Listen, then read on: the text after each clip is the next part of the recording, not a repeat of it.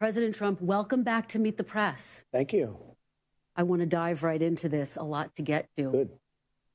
There are a number of things that make your campaign unprecedented. You are the first former president to run for re-election in more than 100 years. You are facing... Κύριε καλησπέρα σας, 3η 16 Ιανουαρίου του 2024 ξεκινήσαμε με τον ε, Τραμπ. Ε, κα- καλησπέρα κύριε Οικονομίδη. Καλησπέρα. Καλησπέρα κύριε Κουτζάνη. Καλησπέρα. Από τα σημαντικά πρόσωπα, πρώην Υπουργός, κοινοβουλευτικός εκπρόσωπος του Κόμματο Αξιωματικής Αντιπολίτευσης, Νίκος Παπάς. Καλησπέρα σας. Από τα βαριά ονόματα του συγκεκριμένου χώρου. Ετοιμάστε για σπέτσες; Ετοιμαζόμαστε για να συντονίσουμε την κοινοβουλευτική δουλειά Ναι. ως μια απαραίτητη προπόθεση για την οργανωμένη εξωστρέφεια. Μάλιστα. Στην οποία Τα- πρέπει να στρέψουμε όλες μας τις δυνάμεις για να αποδείξουμε και στον κόσμο ότι ασχολιόμαστε με τα προβλήματα τα δικά του και όχι με τα προβλήματα τα δικά μας. Αυτό είναι κάτι που ο κόσμος το περιμένει από εμάς και είμαι βέβαιος ότι θα τα αποκριθούμε. Μάλιστα. Η Θα- εξωστρέφεια πάντως άρχισε με τον εξωτερική. Ένα εσωτερικό πρόβλημα γιατί πάτε στις πέτσες.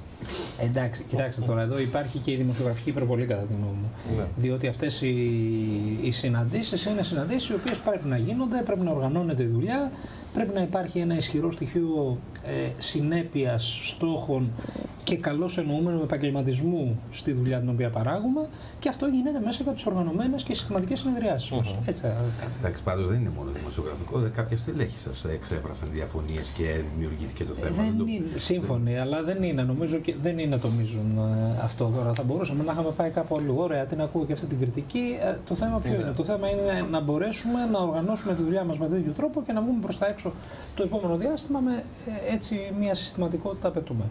Λοιπόν, να τα πάρουμε λίγο με τη σειρά, κύριε Οικονομίδη. Να ξεκινήσουμε να δείξουμε, κύριε Πυρσίμ, λίγο τα πλάνα από τη Γερμανία. Εμείς είμαστε από τα, τα δημοσιογραφικά τραπέζια, σαν δημοσιογραφικός συνεταιρισμός. Ε, στη δημοσιογραφική αργού λέγεται ότι σηκώνουμε το θέμα της Γερμανίας. Είχαμε μάλιστα κύριε Κουτζάνη, με τον Μάνο ήμασταν εδώ, ε, βάλει και κάποια θέματα για το συνάφι μας, για όλο αυτό που γίνεται στη Γερμανία, γιατί αν έβλεπε κάποιος ελληνικά μίντια έπρεπε να προσπαθήσει πάρα πολύ για να δει το τι γίνεται. Τέλος πάντων, λοιπόν, συνεχίζεται μεγάλη αναταραχή στη Γερμανία. Να ξεκινήσουμε από τα διεθνή. Ε, έτσι είναι, κύριε Οικονομίδη. Ε, Και από ό,τι φαίνεται όλο αυτό δεν θα κοπάσει. Εμείς το είχαμε πει από την αρχή και όχι τώρα, ενώ πριν κλείσει έτσι στον επίλογο του 2023. Α, το τι συμβαίνει στη Γερμανία φυσικά και μας αφορά πάρα πολύ, διότι η Γερμανία είναι η χώρα πυλώνας, δυστυχώς ή ευτυχώς, της κοινής πατρίδας της Ευρώπης. Είναι η ισχυρότερη οικονομία της Ευρωζώνης, σε μια κυβέρνηση η οποία προφανώς και είναι ανίσχυρη. Α, Η τρικομματική κυβέρνηση συνεργασίας του κ. Σόλτς, της κυρίας Μπέρμποκ και του κ. Λίντνερ. Α, Φαίνεται, το καταλαβαίναμε πολύ πριν το επιβεβαιώσουν οι δημοσκοπήσεις. Μικρή παρένθεση, τις δημοσκοπήσεις των τελευταίων τριών μηνών.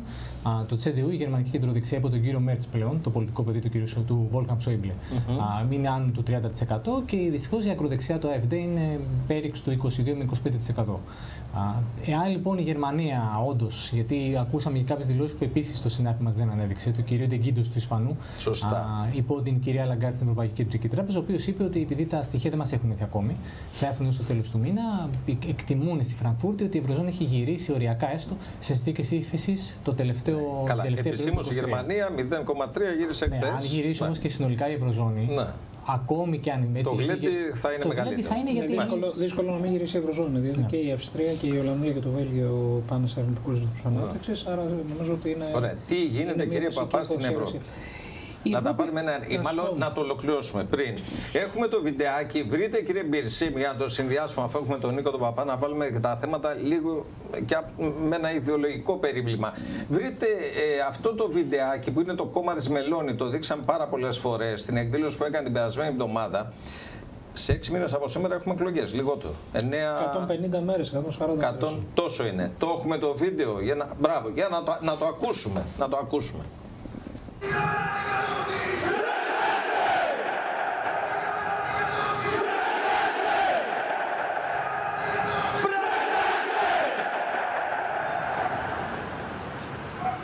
Λοιπόν, αυτό κύριε Παπά είναι η νεολαία του κόμματος Μελώνη. Η Μελώνη έχει βάλει πολύ νερό στο κρασί της. Κανένα πρόβλημα. Όμως η νεολαία του κόμματός της είναι αυτή. Όπου και αν δούμε δημοσκοπήσεις στην Ευρώπη, ε, δεν πάει αριστερά. Ο κόσμος. Πάει δεξιά, παύλα, άκρα, δεξιά. Έχουμε Γιατί πει είναι γίνεται τείχος αυτό, εκεί πέρα. κύριε Ε, Οικονομίδη. κοι- ναι. Κοιτάξτε, να δείτε, ε, νομίζω ότι οι, οι αντιλήψεις αυτές όλο, όλη την προηγούμενη δεκαετία είχαν την ευτυχία να βλέπουν ε, τα ιδεολογικά και πολιτικά τους ντεπόζιτα να γεμίζουν. Κυρίως από αιστείες μέσα στη Γερμανία, Ε, για να μην παρεξηγηθώ, ε, τι εννοώ, εννοώ ότι εκεί εκολάφθηκε και άνθησε η ιδέα ότι κάθε μία χώρα πρέπει να κοιτάει τα της αυλής της για να πάει συνολικά η Ένωση καλά. Αυτό είναι ένα πεδίο στο οποίο ε, οι ιδέες της άκρας δεξιάς αποδείχθηκε ότι μπορούν να ανθίζουν. Το δεύτερο που πληρώνει η Ευρώπη, κατά τη γνώμη μου, είναι το έλλειμμα της στρατηγικής της αυτονομίας. Η οποία στρατηγική αυτονομία δεν μπορεί να επέλθει εάν δεν υπάρξει ευάθυνση στην κατεύθυνση της ομοσπονδιοποίησης. Όλα τα άλλα είναι ημίμετρα και νομίζω ότι το συνειδητοποιούμε με τρόπο οδυνηρό. Υπάρχει βέβαια μια θεμελιώδης αντίφαση η οποία ε, διαμορφώνει και τους όρους αντεπίθεσης των προοδευτικών δυνάμεων. Ότι ε, συνολικά η ακροδεξιά όταν έρχεται στην κυβέρνηση αναδεικνύεται η υποκρισία της. Δηλαδή η Μελώνη τώρα που είδαμε αυτά τα ανατριχιαστικά πλάνα ε, είχε πρόγραμμα αποχώρησης από το ευρώ. Δεν υπάρχει τώρα πουθενά αυτό. Έτσι. Η ίδια η Λεπέν επίσης. Άρα ε, ο κόσμος πρέπει να καταλάβει, και εδώ οι προοδευτικέ δυνάμεις έχουν πάρα πολύ αυξημένη ευθύνη, ότι όταν μιλάει για τη διεθνή θέση της χώρας μία ακροδεξιά δύναμη ε, υποκρίνεται, λέει ψέματα και το κάνει με όρους πολιτικού μάρκετινγκ. Δεν έχει στρατηγική που μπορεί να απαντά στα σύγχρονα προβλήματα. Κύριε Κουτζάνη, κύριε Οικονομίδη. Ε, έβλεπα προηγουμένως το βιντεάκι που είχατε από κάτω που έγραφε ότι ο Τραμπ καλπάζει. Ναι. ναι και όντως καλπάζει. Ε, να δούμε και τα πλάνα. Καλπάζει για να διεκδικήσει την ε, δεύτερη ε, προεδρία του μετά από την. Στο Λευκό Οίκο. Φαίνεται ότι τον... καθαρίζει το χρήσμα των Ρεπουμπλικανών εκτός απρόπτου. Ναι, και μάλλον θα κερδίσει τον Biden. Ε, ναι, εδώ διατηρώ μια. Θα μας τα πει ο κ. Σκομίτη μετά μια αμφιβολία. Μήπως υπάρξει ένας απομηχανής Θεός τελευταία ώρα, αλλά θα δούμε. Ναι, αλλά... Όχι.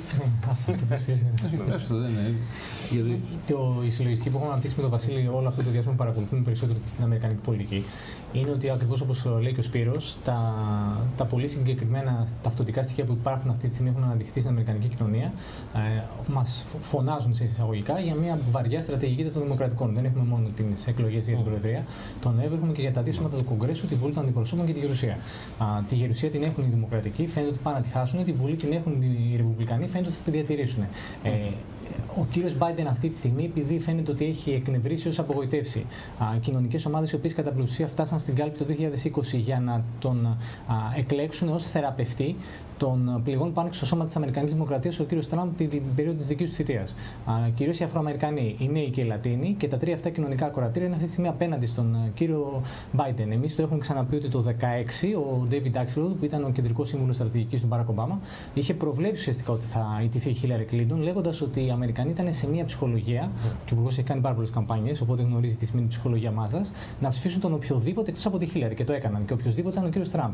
Είμαστε σε φάση αυτή τη στιγμή τον οποιοδήποτε εκτός από τον κύριο Biden. Και δυστυχώς για εμάς φαίνεται ότι. Αυτή την ώρα είναι Στην περίπτωση λοιπόν που αν δεν υπάρξει ναι. στο εσωτερικό των Ρεπουμπλικανών μία άλλη ε, Πώς να το πούμε, που δεν διαφαίνεται. Ναι, επανατοποθέτηση των, των Ρεπουμπλικανών. Το Ρεπουμπλικανών να υπάρχει ένα άλλο πρόσωπο το οποίο να αμφισβητεί τον Τραμπ. Δεν διαφαίνεται. Ο Ντεσάντης θα ήταν μόνο. Αλλά σωστά το είπα εγώ. Πολύ σωστά. Χειραптοτικό. Ο Τραμπ καλπάζει και θα διεκδικήσει την δεύτερη. Με το διακόψιμο το πάνω, το ολοκλήρωσε. Το ολοκλήρωσε. γιατί αν ξεπαρένθεση για να το εξηγήσει. Η ας πούμε, ήταν η ενδιαφέρουσα περίπτωση. Πρώην κυβερνήτης της Νότιας Καρολίνας και πρώην πρέσβυρα τον ΗΠΑ στον ΟΗΕ, όπου όλο το βαθύ κράτος των Ρεπουμπλικανών έχει πέσει πάνω πάνω τη και η, η σημαντική χρηματοδότηση των Ρεπουμπλικανών, η, τα αδέρφια Κοχ, κατέληξε να είναι τρίτη στην Αϊόβα οριακά πίσω από τον κύριο Ντεσάντη. Ο κύριος Ντεσάντη, να θυμίσουμε ότι στι ενδιάμεσες εκλογές του 2022, α, όπου επανεξελέγει η κυβέρνηση της Φλόριντα, yeah. είχε εμφανιστεί ως εκείνος που θα μπορούσε να κερδίσει τον κύριο Τραμπ. Η εικόνα που έχουμε αυτή τη στιγμή είναι ότι αν ο κύριος Τραμπ κατέβει, ψαρώνει πρώτα απ' όλα το χρήσμα και κερδίζει και τον κύριο Biden. Η ευχή όλων μας είναι, αν υπάρξει, γιατί ο Υπουργός το υπονόησε κιόλας, πιστεί ο κύριος Biden, Mm. Γιατί μόνο έτσι μπορεί να συμβεί αυτό. Βλέπουμε και την ομάδα Ομπάμα να τον πιέζει παρασκηνιακά, να αποσυρθεί, δηλαδή να ακολουθήσει τα χνάρια του Λίντον Τζόνσον και να μην διεκδικήσει μια δεύτερη θητεία. Τότε, αν προκύψει κάποιο άλλο πρόσωπο, όχι κυρία Χάρης, έχουμε πει ποιοι θα μπορούσαν να είναι αυτοί. Ο κυβερνήτης της Καλιφόρνια, ο κύριος Γκάβιν Νιούσομ, είναι μια περίπτωση. Ναι. Η Καλιφόρνια, να θυμίσουμε ότι είναι η τέταρτη ισχυρότερη οικονομία. Η σύζυγο Ομπάμα, αφού τα λέτε όλα. Η Μισελ Ομπάμα, εντάξει, η Μισελ Ομπάμα θα ήταν το, το Μπορεί να χτυπήσει η Μισελ Ομπάμα τον Τραμπ. Πιθανότατα δεν θα γινόταν να κάνει εκλογές με τα ποιοτικά στοιχεία τη αντιπαράσταση. Εδώ εγώ έχουμε, έχουμε διαφωνία γιατί δεν ξέρω γιατί θα ήταν ελπίδα. Η τελευταία ελπίδα που θυμάμαι τον Μπαράκ Ομπάμα, τον Mr. President, ήταν που έκανε μπάχαλο όλη τη Μέση Ανατολή με τις διάφορες επαναστάσεις εκεί στην Αίγυπτο κτλ. Και αποστεθεροποίησε όλη την Μέση Ανατολή. Είναι η νονή των πολέμων. Ναι, ακριβώς. Τις αγώνε βεβαίως του Σπύρου δεν διαφωνούν. Απλά εμείς τουλάχιστον είμαστε λίγο πιο. Το λέμε με ιδεολογικά χαρακτηριστικά, μην παρεξηγηθούμε. Τέλος πάντων, στην Αμερική επανέρχεται ο Τραμπ. Στην Ευρώπη η Μελώνη έχει κερδίσει. Μελώνη, Λεπέν. Η Λεπέν έρχεται. Λευκή Σουηδή, λοιπόν, Vox Ισπανία. Στην Γερμανία που έδειξε, το AFD ανεβαίνει και έχουμε κινητοποιήσεις κατά του σοσιαλδημοκράτη. Ανεβαίνει η Βαγγέλης Αντώνα προχθές εδώ που ξέρει τη γερμανική πολιτική. Στην Ολλανδία ναι. είχαμε ήδη την αυτή. 20% φτάνει. Και στις ευρωεκλογές τι λένε, ας πούμε, ότι το πιο πιθανό είναι ότι θα έχουμε επικράτηση της ε, νέας δεξιάς. Δεν είναι τυχαίο αυτό. Είναι γιατί η σοσιαλδημοκρατία και η αριστερά, ε, από τη στιγμή που εγκολπώθηκε την νεοφιλελεύθερη ατζέντα, απογοήτευσε ευρύτερες μάζες και τις δικές της. Mm.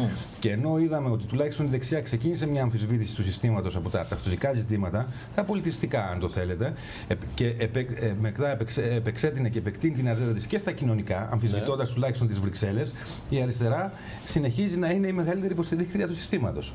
Αυτό ας πούμε το ξαναδεί. Αυτό είναι, είναι λίγο σημαντικό. Αλλά, εν πάση περιπτώσει, το, το ενδιαφέρον είναι το εξής. Ε, Ακριβώς τη στιγμή όπου αμφισβητήθηκαν τα θεμέλια της ευρωπαϊκής πολιτικής, δηλαδή από το 1920 και μετά, όπου είχαμε την κρίση του κορονοϊού και σπάσανε τα σταγανά της άσκησης οικονομικής πολιτικής μέσα στην Ευρώπη και με τη ρήτρα διαφυγής τους Συμφώνου Σταθερότητας, mm. τη κινήση της Ευρωπαϊκής Κεντρικής Τράπεζας, εκεί φαίνεται ότι οι προοδευτικές δυνάμεις, κατά τη γνώμη μου, επειδή δεν ήταν αρκετά ενωμένες και αρκετά τολμηρές ως προς το ευρωπαϊκό project, δεν κατάφεραν να πιστωθούν αυτό το, το de facto ρήγμα δηλαδή να κάνουν την ρηγμάτωση πάνω στην οικονομική ορθοδοξία που προέκυψε λόγω της κρίσης, δηλαδή γίνανε πράγματα τα οποία δεν μπορούσε να φανταστεί κανείς πριν την κρίση. 60 δις παραπάνω ξόδεψε η Ελλάδα στο, στον καιρό του κορονοϊού. Ναι. Ο Μακρόν πήρε μετοχές εταιριών ενέργειας. Η Κομισιόν πρότεινε μείωση των έμεσων φόρων, επιδοτήσεις, ε, έδειξε τον δρόμο στις χώρες να κινηθούν στις παρυφές και λίγο έξω από, τον, από τους κανόνες των κρατικών ενισχύσεων και παρόλα αυτά, επειδή οι προοδευτικές δυνάμεις δεν κατάφεραν πρώτον να συντονίσουν τις δυνάμεις τους και δεύτερον να μιλήσουν τολμηρά για το ευρωπαϊκό εγχείρημα. Διότι το ευρωπαϊκό εγχείρημα έξω από την προοπτική της Ομοσπονδίας δεν μπορεί να είναι βιώσιμο. Αυτή είναι η άποψή μου.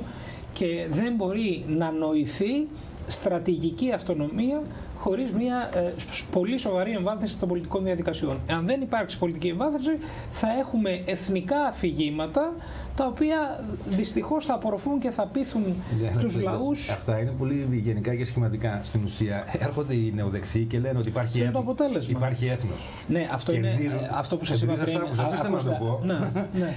η ιδέα που κερδίζει είναι η ιδέα του έθνους και της εθνικής κρατικής συγκρότησης. Δεν κερδίζει το γενικό και πώς θα μοιράσουμε το χρήμα. Εντάξει. Ε, όλοι Ελπίζω ότι σε αυτή την ιστορική καμπιόν κερδίζει, η ιδέα, ναι. κερδίζει η ιδέα όχι στο μεταναστευτικό, το οποίο το συνδέει με το εργασιακό. Πηγαίνει η Λεπέν και μιλάει πριν από τρία χρόνια ε, στην Ιταλία με τον ε, επικεφαλής εκεί της Ιταλικής Αριστεράς και του λέει: Εσείς με την άποψη που έχετε για το μεταναστευτικό εισάγετε μετανάστες και λαθρομετανάστες, φτηνό εργατικό δυναμικό και μια ανεξάρτητη, μια ανεξάρτητη συγγνώμη, δεξαμενή. Γιατί για να πλήττετε τα εργασιακά δικαιώματα και τους μισθούς. Τι προστατεύετε. Εντάξει. Και σε αυτό δεν έχει απάντηση. Όπως δεν έχει κανένας. Η νέα δεξιά βάζει το θέμα της οικογένειας επίσης και με όλες αυτές τις ιδέες τελικά κρατάει τις κοινωνίες. Παραδοσιακά Εσείς μιλάτε συνολικά, όχι, όχι, ότι μοίρασαν τα πολλά λεφτά. Όχι, όχι, όχι. Λοιπόν, η, η άκρα δεξιά παραδοσιακά και ιστορικά τι κάνει. Προσπαθεί να πείσει το φτωχό κόσμο ότι για τον πόνο του δεν φταίνει οι ασκούμενες πολιτικές, αλλά φταίει ο, ο φτωχός της διπλανής πόρτας ή ο κατατρεγμένος της διπλανής χώρας.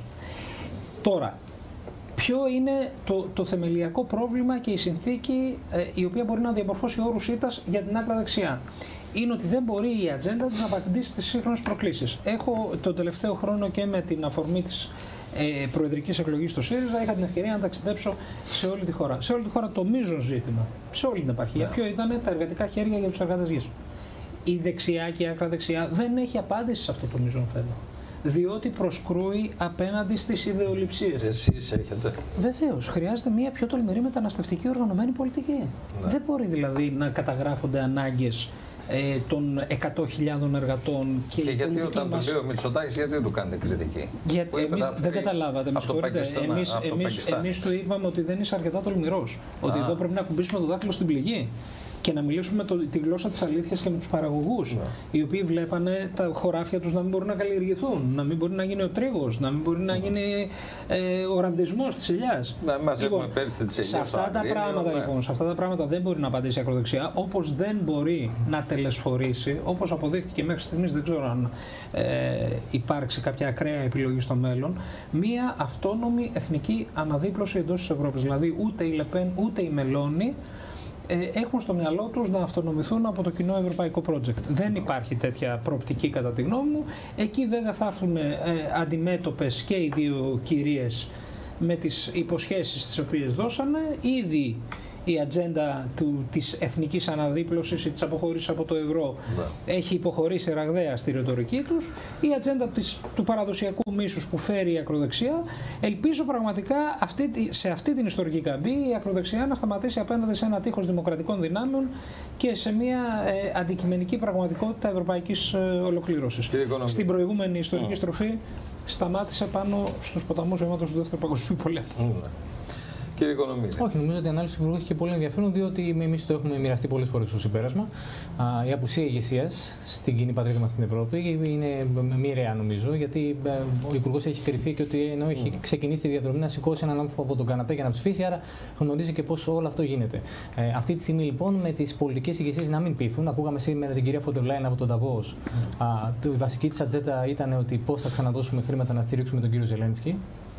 Το οποίο είναι ένα ζήτημα τι κάνεις, γιατί εμείς το έχουμε πει ότι εδώ και 6 μήνες οι Αμερικανοί λόγω του μπλοκάρισματος στο Κογκρέσο δεν δίνουν χρήματα στην Ουκρανία. Αλλά, εν πάση περιπτώσει. Η αλήθεια είναι ότι έχει εξελιχθεί σε μια χένουσα πληγή. Γιατί- Ανεξαρτήτως λοιπόν, αυτή μου είναι για μένα ένα ξεχωριστό πολύ μεγάλο στο μείζο κεφάλαιο. Στο κομμάτι όμως της ουσίας. Καλά είναι να μην προτρέχουμε στην εξωτερική πολιτική. Ναι. Δεν μπορείς να ηγείσαι της Ευρώπης, γιατί θεωρητικά η κυρία Φοντελάιν και ο κύριος Μισελ, ο οποίος το βάζει στα πόδια μπροστά στον κύριο Όρμπαν, κλείνει παρένθεση. Είναι η φυσική ηγεσία της Ευρώπης. Ε, να μην μπορείς να κατανοήσεις ότι το περίγραμμα που παρουσίασε μόλις ο Υπουργός, δηλαδή οι κοινωνικές προτεραιότητες που έχουν αλλάξει, χρειάζονται άλλου είδους απαντήσεις. Δεν μπορεί ούτε η κυρία Φοντελάιν ούτε οι υπόλοιποι, νομίζω σήμερα, αυτοί που κάποτε η ΜΟΤ πριν από μια δεκαετία είχε περιγράψει ως παιδική χαρά των Βρυξελών, όλοι αυτοί να το εκφράσουν. Μάλιστα. Να βάλουμε τώρα να πάμε σε ένα σποτάκι που δημοσιοποιήθηκε λίγες ώρες, τώρα περασμένες 11 ε, νωρίτερα, για να περάσουμε λίγο στα του κόμματος της αξιωματικής αντιπολίτευσης. Για πάμε να δούμε τον κύριο Κασελάκη. Χρησιμοποίησε, κάνει, ανεβάζει πολύ τους τόνους. Ε, Πόσες μέρες είπατε μέχρι τις ευρωεκλογές; 140, Το κάτι, κάπου εκεί. 142. Μάλιστα, ε, κάπου εκεί, κάπου εκεί. Λοιπόν, ωραία. Πάμε να δούμε το σποτάκι του κυρίου Κασελάκη. Πολύ υψηλή τόνη και μετά να δούμε τι γίνεται στο ΣΥΡΙΖΑ. Δείτε μαζί μου κάτι περίεργα που συμβαίνουν. Κάθε φορά που είδα μια κυρία με ένα καρότσι έτσι να μου λέει άλλα. Μην μου τα πείτε και εσείς παρακαλώ. Και την οργή για την αυριανή μέρα. Βεβαίω, βεβαίως. Πολύ ασφάλεια, παιδιά. που αυτή η δυνατότητα υπήρχε όταν εγώ έφευγα, πιθανώς και θα την επέλεγα. Στηρίζουμε και ε, εμείς από εδώ την προσπάθεια της ενέργειας της Δαπνού του Φουκού. Όσοι τώρα πόσο σας βγαίνει με την επιδότηση. αποτέλεσμα σε έναν βαθμό και μιας οικονομία η οποία Ποια είναι η ανάγκη του Πρωθυπουργού να χρησιμοποιεί μέλη και στελέχη της Νέας Δημοκρατίας να παριστάνουν τους απλούς πολίτες για να ξεγελάει τους απλούς πολίτες; Ποιο είναι επιτέλους το όριο του κινησμού του; Γιατί δεν πάει να μιλήσει με τους ανθρώπους που χάνουν το σπίτι τους από τους πληστηριασμούς που επιτρέπει ο ίδιος; Τον καλό να πάμε μαζί σε ένα τέτοιο σπίτι, να ακούσει μόνος του χωρίς ηθοποιούς την πραγματικότητα. Η επαφή με την πραγματικότητα αποκτάται όταν μιλάς με τον κόσμο, όχι όταν μιλάς με τους οπαδούς σου. Λοιπόν, σκληρό ροκ. Αυτό είναι Η το. Ρόδος. Θα μπορούσε ο κύριος Μητσοτάκης να πάρει το Στέφανο τον Κασελάκη και να πάνε μία βόλτα, ας πούμε, πριν ε, κάποιες μέρες, τρεις εβδομάδες στα Πετράλων, όπου έγινε μία έξωση. Έκανε Μία το ηλικιωμένη, ιστορία. μία ηλικιωμένη γυναίκα 74 Αλλά και εμείς χρονών. είμαστε. Φωνάζουμε όλοι και οι δημοσιογράφοι φωνάζουν. Αλλά Βεβαίως. πριν από 6 μήνες 41% πήρε η Νέα Δημοκρατία. Ε, ναι, αλλά δεν, μισό λεπτό. Με συγχωρείτε, αυτό δεν τι πάει να πει, ότι έχεις χωροχάρτη για να κάνει. Αυτό θα το τι ακούτε είπε, για άλλα δηλαδή. τρία χρόνια, κύριε Παπά, συνέχεια. Όχι, μπορεί, υπάρχει δυνατότητα στις ευρωεκλογές να κοπεί αυτός ο βήχα. Και εδώ, ε, γι' αυτό το πράγμα θέλουμε να καλέσουμε τον κόσμο να πάει μαζικά στις κάλπες και να δώσει την απάντησή του. Αλλά θα ήταν πάρα πολύ ενδιαφέρον πραγματικά να, να εξηγήσει και ο κύριος Μητσοτάκης τι θα γίνει σε κάθε έναν από τους 250.000 πληστηριασμούς που προβλέπονται μέχρι το 2026. Ε, να, νομίζω ότι ο κύριος Κασελάκης κάνει αυτό που ξέρει καλύτερα. Είναι επικοινωνιακός, έχει μια εξοικείωση και μια άνεση στην χρήση και στον χειρισμό των ε, σύγχρονων μέσων επικοινωνίας, των μέσων κοινωνικής δικτύωσης. Ήταν από αυτά που τον ανέδειξαν και κέρδισε και την ε, μάχη των ε, εκλογών. Και τώρα το χρησιμοποιεί ε, για να αποδομεί, για να κάνει κριτική και να αποδομεί και την εικόνα του κυρίου Μητσοτάκη, ο οποίος και αυτός ακολουθεί παρόμοια τέτοια. Δηλαδή πηγαίνει δίχως ενημέρωση, δίχως ειδοποίηση σε ένα σπίτι όπου έχει βρει δύο δικούς του που τους έχει και σε άλλα τέτοια και το κάνει. Λοιπόν, άρα το κάνει καλά. Δεν είναι εκεί τα ζητήματα του κυρίου Κασελάκη, αλλά δεν είναι αυτό αρκετό μέχρι στιγμής από ό,τι έχει δείξει. Τώρα, στο άλλο που είπες, εγώ συμφωνώ. 41% πήρε και αυτή τη φορά ο κόσμος ήξερε όλο το πρόγραμμα του κυρίου Μητσοτάκη. Ήξερε ότι υπάρχει πρόβλημα ε, με τα funds που έχουν πάρει τις ε, περιουσίες των πολιτών. Ήξερε ότι υπάρχει στεγαστική κρίση και ότι πληρώνουν πανάκριβα είτε για τα παιδιά τους φοιτητές είτε οι ίδιοι για να μένουν. Ήξερε το πρόβλημα της ακρίβειας. Ήξερε την υποβάθμιση. Ήξερε την υποβάθμιση της υγείας. Ήξερε το πρόγραμμά του για υποβάθμιση της παιδείας και ιδιωτικά α, πανεπιστήμια κτλ. Και πήρε 41%. Συνεπώς, τι να γίνει, τον νομιμοποίησε. Μέχρι τουλάχιστον να δείξει ότι το ξανασκέφτηκε και κάνει μια στροφή.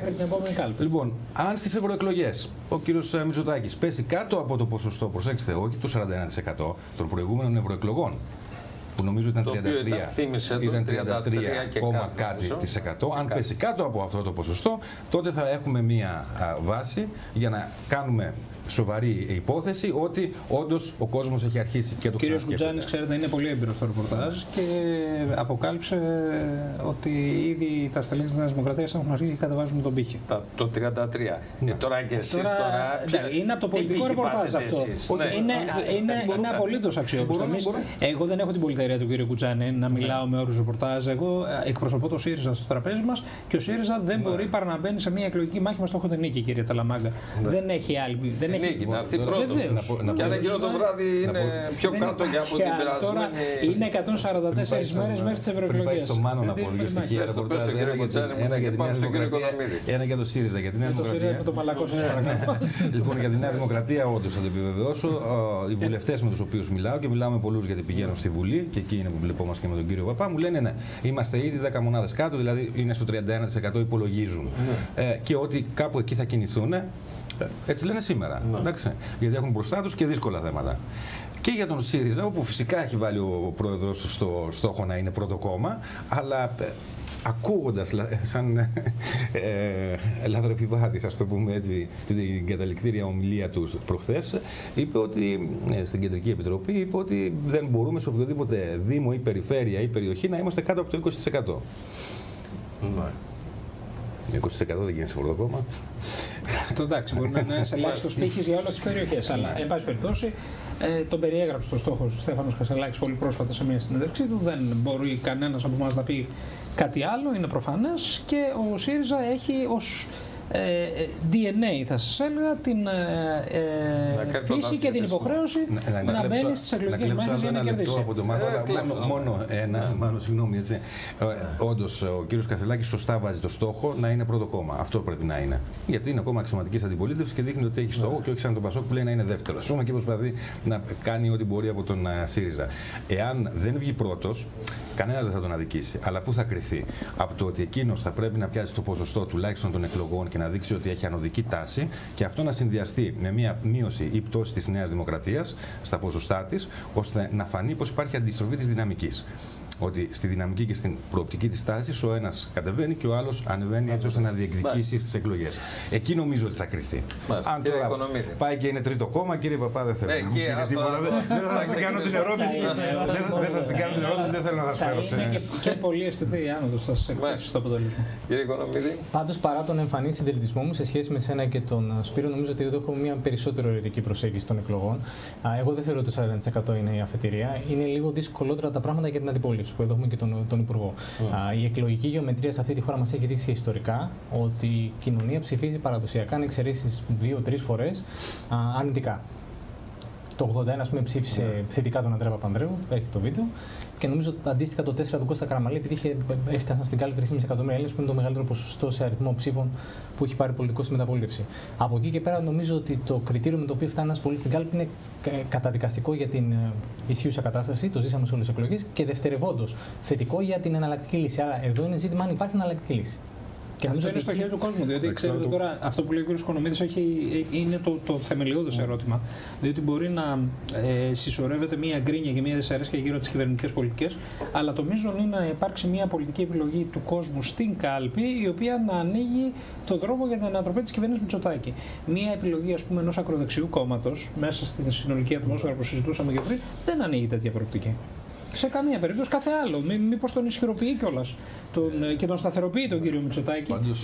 ε, και το, τον βοηθάει να φιλοτεχνήσει μια εικόνα κεντρώου. Έτσι, Εγώ θα έλεγα ότι ο κύριος Μητσοτάκης δεν έχει πάει καλά το επιτελικό του κράτος κατέρευσε. Κάηκε η μισή Ελλάδα και πλημμύρισε η υπόλοιπη. Ότι έχουν γίνει λοιπόν, σημεία και τέρατα σε έξι μήνε. Που ήταν ναι. ο νόμος και τάξη και τα στην πράσινη ατζέντα του δεν τα πηγαίνει καλά. Σκοτώνοντα στου δρόμους. Ε, του έχει ξεφύγει εντελώς ο έλεγχος. Με την ακρίβεια δεν τα πήγε καλά. Με δύο χρόνια την λέει ακόμα προσωρινή. Αν είναι δυνατόν. Οπότε δηλαδή δεν θα είναι προσωρινή. Ή ότι είναι εισαγόμενη όταν τα ελληνικά προϊόντα πουλούνται πιο ακριβά ναι. στο εξωτερικό. Συνεπώς δεν τα έχει πάει καλά. Παρ' όλα αυτά αύξησε τα ποσοστά του. Γιατί; Έχει πείσει, κατά την άποψή μου, εδώ είναι προσωπική η ανάλυση. Ότι είναι ο καλύτερος διαχειριστής. Με την τεράστια δύναμη, αυτόν τον θηριώδη επικοινωνιακό μηχανισμό που είναι ο μηχανισμός προπαγάνδας, ότι είναι η μόνη, ότι είναι ο μόνος που έχει σχέδιο. Είναι σχέδιο συνολικής αναδιάρθρωσης ή αποδόμησης, αν θέλετε, της ελληνικής κοινωνίας. Κακό σχέδιο, αλλά έχει πείσει, γι' αυτό λέω με τα μέσα ενημέρωση, ότι είναι το μόνο σχέδιο. Σας τσίκλισε τώρα. Συνεπώς, για να πω και την τελευταία πρόταση όμως. Συνεπώς, ο ναι, ΣΥΡΙΖΑ τι πρέπει να κάνει, κυρίως από το συνέδριό του και μετά, να πείσει ότι δεν είναι το μόνο σχέδιο στο τραπέζι του Μητσοτάκη, έχει και εκείνο σχέδιο εναλλακτικό, το οποίο να πεις επίσης ότι μπορεί να το εφαρμόσει για την ναι, κοινωνία. Ε, Εάν το κάνει αυτό, νομίζω ότι θα υπάρξει νομίζω, μια πολιτική μεταβλητή. Το βασικό έλλειμμα τη εκλογή του 23 ήταν το πολιτικό έλλειμμα, όχι το προγραμματικό. Δηλαδή υπήρχε πρόγραμμα, υπήρχαν απαντήσεις, υπήρχαν δεδομένα ε, αλλά δεν υπήρχε μια ε, αξιόπιστη πολιτική εναλλακτική. Δηλαδή, η πολιτική mm. μας πρόταση εν μέσω απλής αναλογικής για συνεργασία των προοδευτικών κομμάτων ήταν. Ε, ναι. Άρα, ε, ξεκινάγαμε με ένα handicap. Το δεύτερο, βεβαίως, το οποίο δεν μας στέλνει τα μέσα ενημέρωση προς το, ήταν και δικά μας λάθη. Έτσι. Δηλαδή, η γνωστή δήλωση που έλεγε ότι θα επαναφέρουμε τις εισφορές στο επίπεδο το μνημονιακό. Ε, τα δύο εάν εκλεγούμε. Ναι. ναι, προσέξτε όμως, ναι. εκεί δεν είναι. Γιατί είναι βουλικό καμιά φορά και εμείς και πέφτουμε στο λάθος να στεκόμαστε έξω και να πετροβολάμε τη διαπλοκή. Εκεί δεν έφταξε καμιά διαπλοκή. Εκεί το ναι, πήραν αυτή τη δήλωση. Προσέξτε, κύριε Κουτζάνη, τι έγινε, γιατί το, το είδαμε και το μελετήσαμε και πήραμε και τα μέτρηξ. Δεν σας μιλάω για τους λογαριασμούς στα μέσα κοινωνικής δικτύωσης που πήγε αυτή η δήλωση αυθορική παραχρήμα. Την επόμενη μέρα το πρωί Βγήκαν όλα τα επιμελητήρια, η δικηγορική σύλλογη.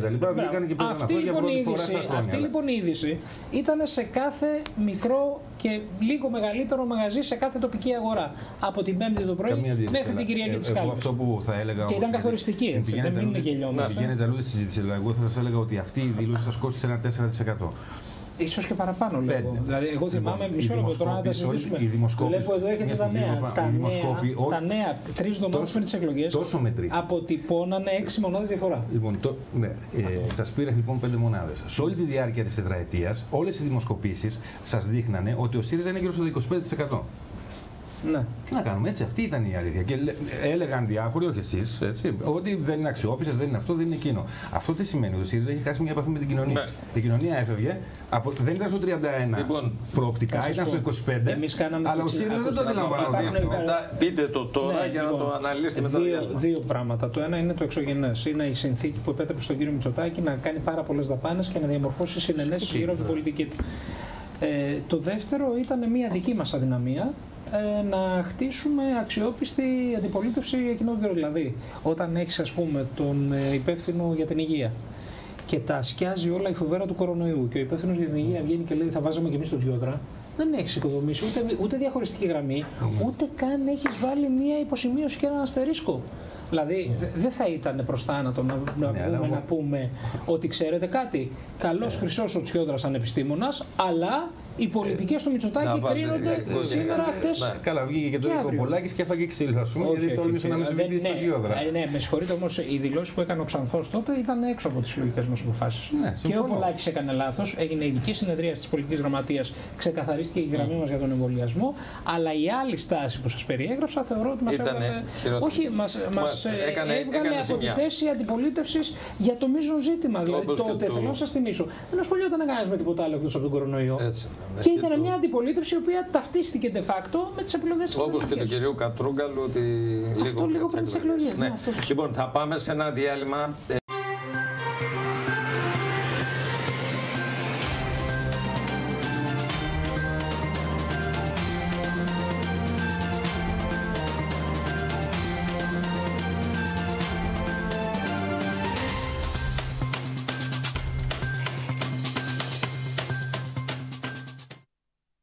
Λοιπόν, επανήλθαμε κοινοβουλευτικός εκπρόσωπος του ΣΥΡΙΖΑ, πρώην υπουργός από τα κομβικά. Στελέχη του κόμματος Αξιωματικής Αντιπολίτευσης, Νίκος Παπάς, Σπύρος Γκουτζάνης, Μάνος Οικονομίδης. Λοιπόν, σας βλέπουμε ζιβάγκο, σημαίνει κάτι.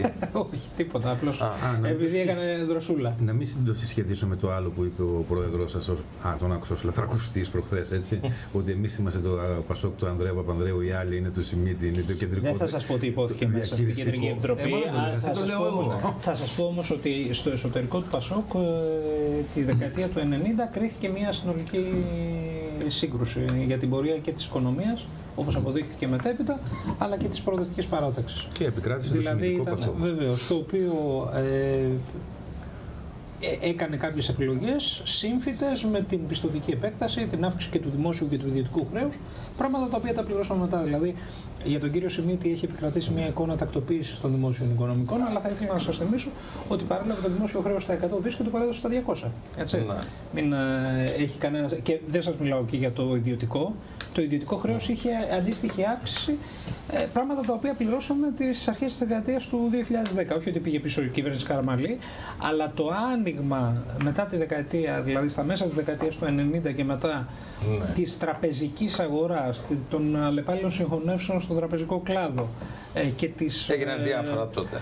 Ναι, εκεί πέρα, ξέρετε, υπήρχε ναι. μία, μία επίφαση, μία φενάκια αναδιανομής. Δεν ήταν αναδιανομή, ήταν γενικευμένος δανεισμός.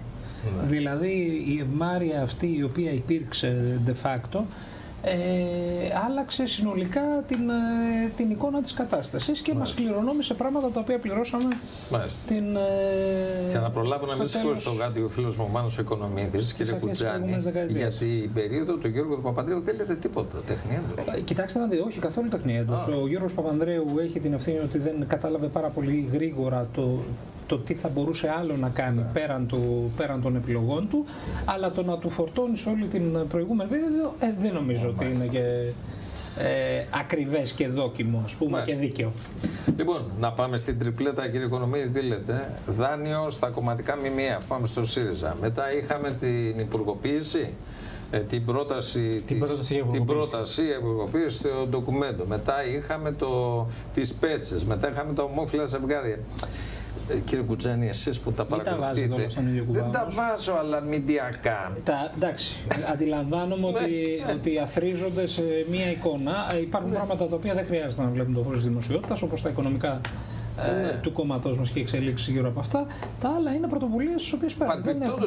Το ρεπορτάζ το δικό μας έλεγε το, τώρα σας έχουμε ναι. δεν σας είχαμε από τότε και εσείς είχατε δώσει λεφτά. Δεν θα κάνω κανένα σχόλιο Μάλιστα. σε σχέση με αυτά, κύριε Ταλαμάγκα.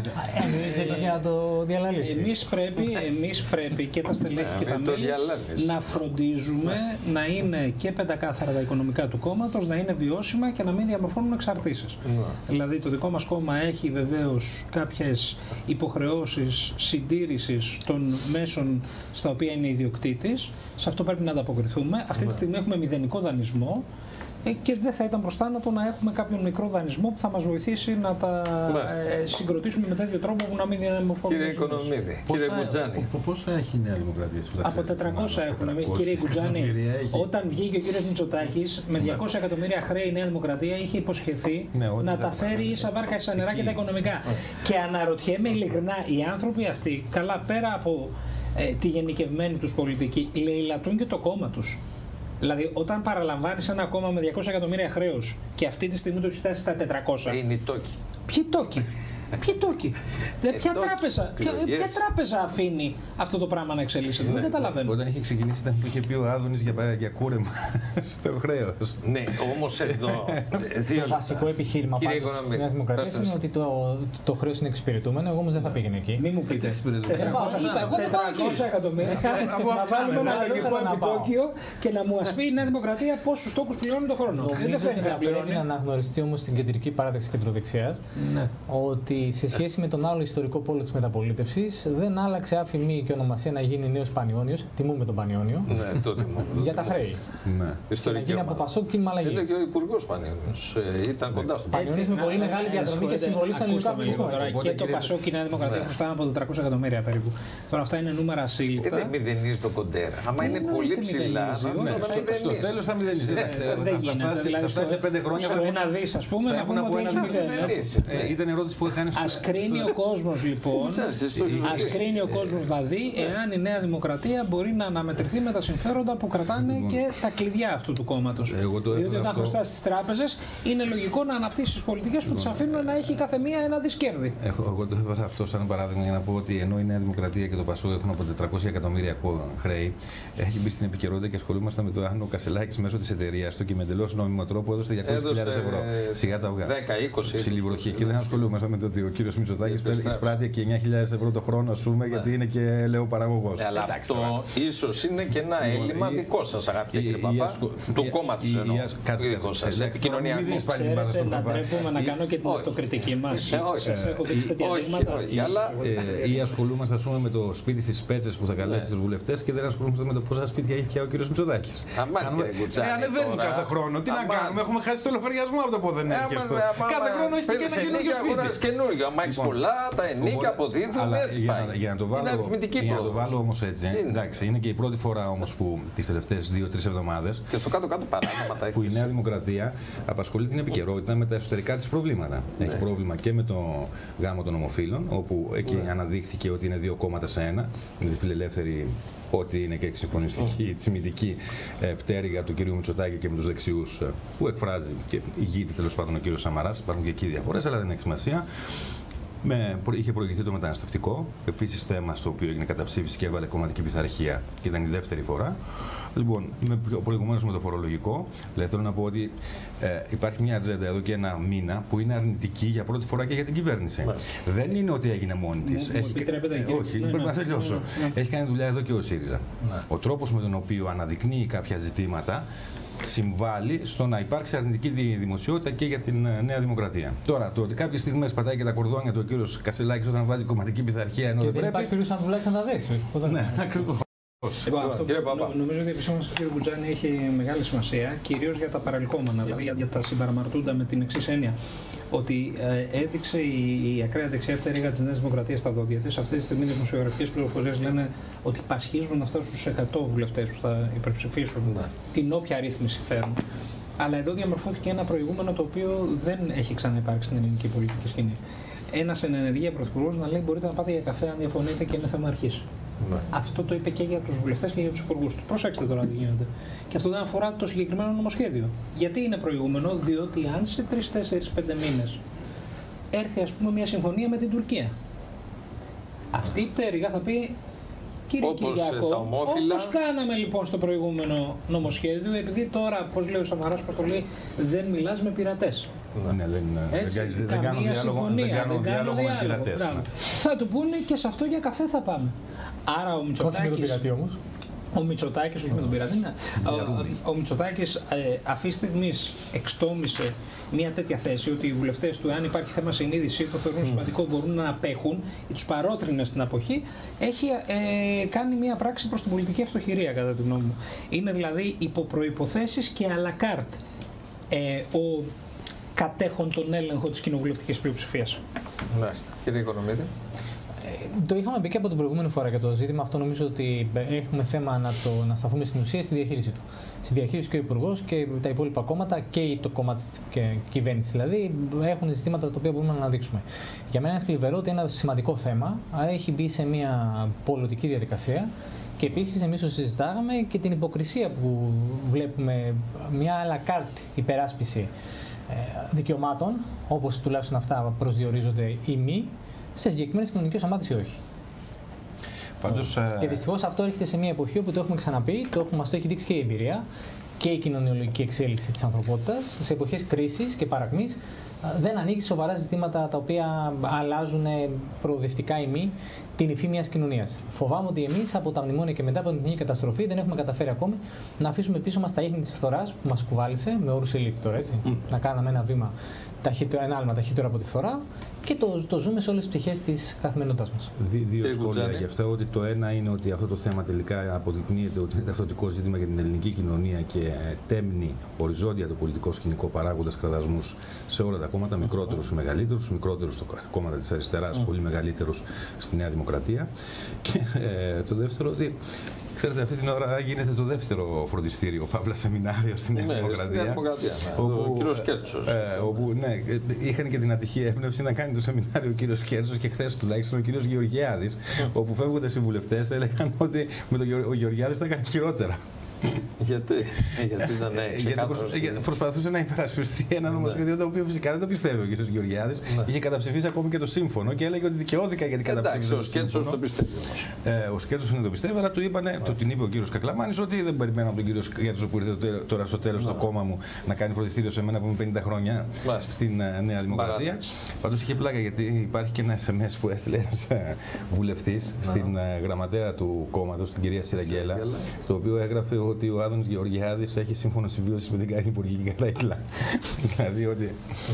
Ε, το έχω δει και το ξέρω και ξέρω και ποιος είναι ο βουλευτής, αλλά δεν θα τον πω. Μάλιστα. Δηλαδή ότι θα κάνει και τούμπες στην ομόνια ή στο Σύνταγμα αρκεί να παραμείνει και υπουργός. Όποιος ε, στην ελληνική πολιτική νομίζει ότι αυτό που σημαίνει αυτή τη στιγμή στη Νέα Δημοκρατία αφορά το συγκεκριμένο νομοσχέδιο και είναι δευτερεύον, κατά τη γνώμη μου κάνει λάθος. Ναι. Δηλαδή Ε, δείχνει καλά. τα δόντια Και της. εσείς τώρα δεν τα πήγατε πολύ καλά μετά προς πίσω εκεί. Εμείς, κοιτάξτε να δείτε, Εντάξει. να, να ακούσω οποιαδήποτε κριτική ότι μπορούσε να είναι ένας άλλος χειρισμός. Η, η Τι να ουσία μας ποια είναι; έχει Η το ουσία- κυβερνών κόμμα τόσου Ακούστε βουλευτές, με λίγο. 158 και Ακούστε με ασχολούμαστε λίγο. με τους 36 Αυτό ΣΥΡΙΖΑ. αφορά, αφορά λίγο και τον τρόπο άσκησης τη δημοσιογραφίας στην Ελλάδα. Αφορά όμως και ένα κόμμα το οποίο έχει μια ξεκάθαρη θέση. Εμείς δεν έχουμε κάτι ούτε να κρύψουμε, ούτε να φοβηθούμε, ούτε να, να σκεφτούμε. Θα δούμε το κείμενο όταν έρθει και αναλόγως θα κρίνουμε και τη στάση μας. Η Νέα Δημοκρατία αυτή τη στιγμή έχει ένα τεράστιο αναδομικό πρόβλημα, διότι δείχνει ότι δεν μπορεί να προχωρήσει κάποιες βασικές μεταρρυθμίσεις και καθίσταται ε, ο ίδιος ο κύριος Μητσοτάκης ένας υπό προποθέσει και αλακάρτ ε, ελεγκτής εντός εισαγωγικών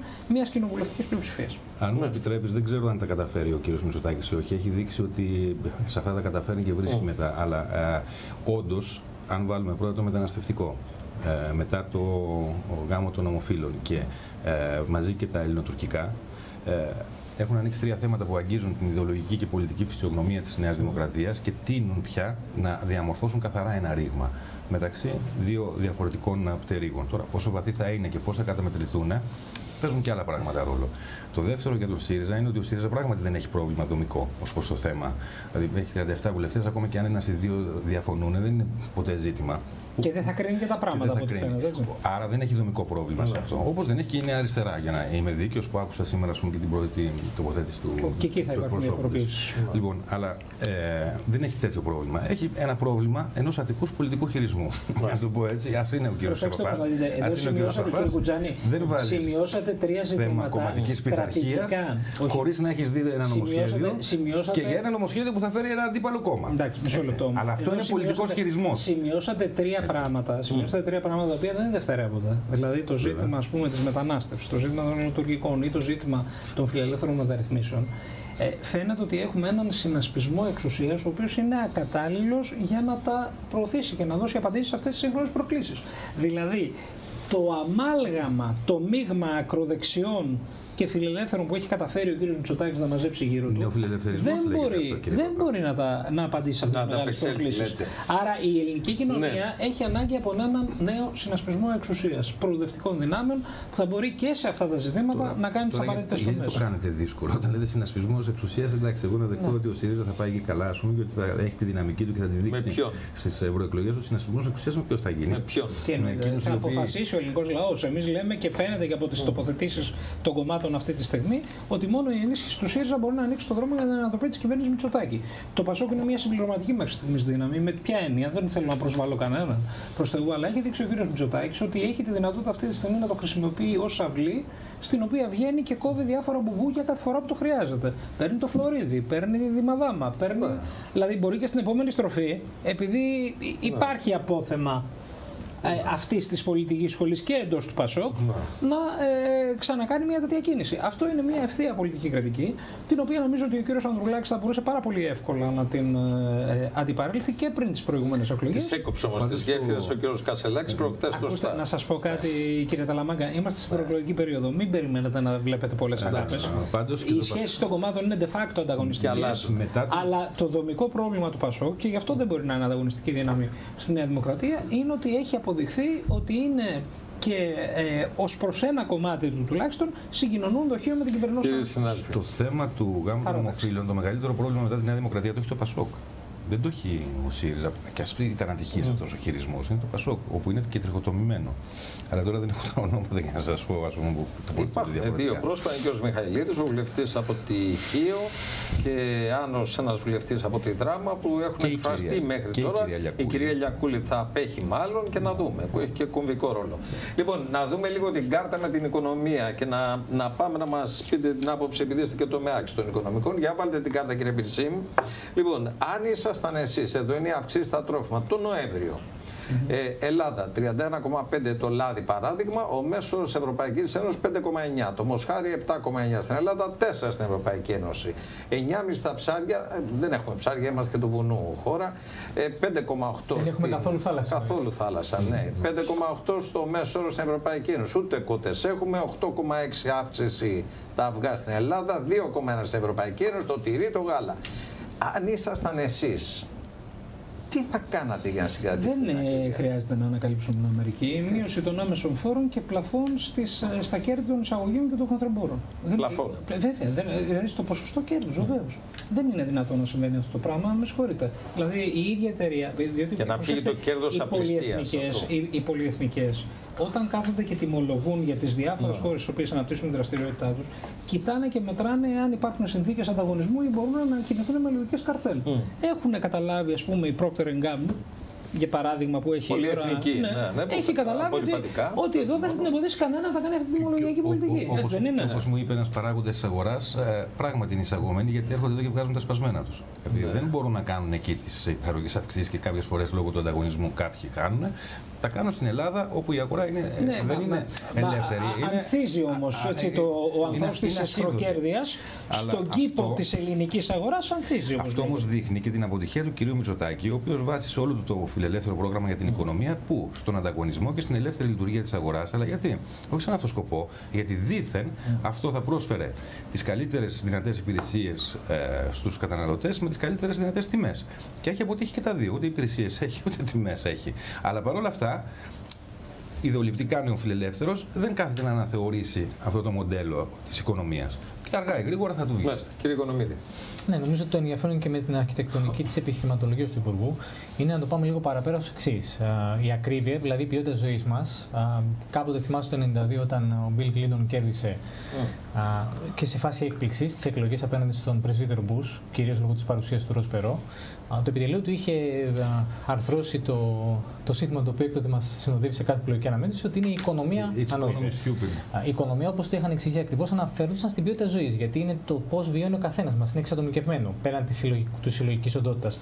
Το πώς το αντιλαμβάνει. Ο ΣΥΡΙΖΑ λοιπόν νομίζω ότι εδώ το βασικό του πρόβλημα και έδωταν και το στήμα και για τον Υπουργό αλλά και για την καινούργια ηγεσία. Γιατί να μην ξεχνάμε ότι ο κ. Κασελάκης, τον οποίο του προσάπτουν πολλά αρνητικά, αλλά ακριβώς επειδή δεν έχει φθορά παρελθούσας παρουσίας σε κάποιο αξίωμα, δυνητικά μπορεί να είναι καλύτερος message builder, δηλαδή να χτίσει ένα μήνυμα, το οποίο να περάσει, βλέπεις και τα βιντεάκια αυτά. Ε, αισθάνομαι ότι δεν έχει καταφέρει ο ΣΥΡΙΖΑ ακόμη να αποτινάξει από πάνω του τους λόγους για τους οποίους έχασε το 19. Δηλαδή ότι φυσικά καταλαβαίνουμε έτσι υπήρχε το μνημόνιο, το οποίο βεβαίως χρεώθηκε και ότι ένα κομμάτι του, γι' αυτό και το τρίτο η Νέα Δημοκρατία έλεγε το αχρίαστο μνημόνιο. Αλλά και μετά το διάγγελμα του κ. Τσίπρα τότε στην Ιθάκη, ότι τελείωσαν τουλάχιστον η μνημονιακή εξάρτηση της χώρας, αλλά όχι οι νόμοι που μας συνοδεύουν.